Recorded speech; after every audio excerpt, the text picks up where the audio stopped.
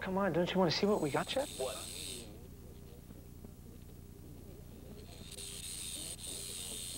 Well, we got married. Well, there's your first mistake. Danielle? Um, right now,